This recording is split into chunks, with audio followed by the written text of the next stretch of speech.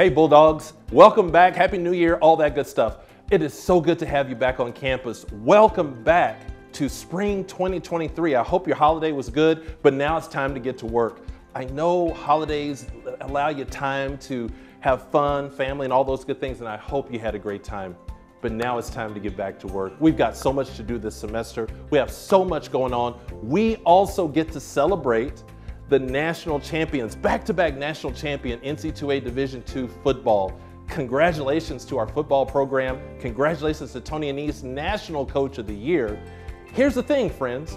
You are on a campus that has the only national champion Division II football team. There was no one else. We are the one. You're here. You're one of the Bulldogs. That's a celebration for everyone because champions are what exist on this campus. Whether it's football, women's soccer, basketball, volleyball, I don't care. You are champions. All of you are. And so welcome back. Welcome back to the Bulldog Nation. Go Bulldogs.